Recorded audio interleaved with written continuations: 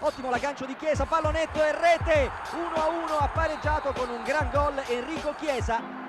Splendido l'aggancio il controllo e il pallonetto sul quale stavolta Landucci non ha potuto far nulla. Pareggio di Chiesa 17 del primo tempo. Chiesa si porta.